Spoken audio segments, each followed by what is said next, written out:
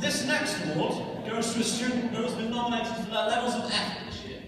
The Year 7 Outstanding Efforts Award goes to Morgan Churchill.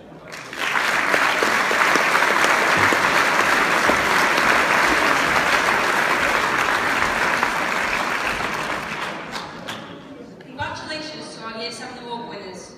We now move on to Year 8. We will begin with individual subject award winners. The English award goes to Madeline Evans. mathematics was goes to Cameron.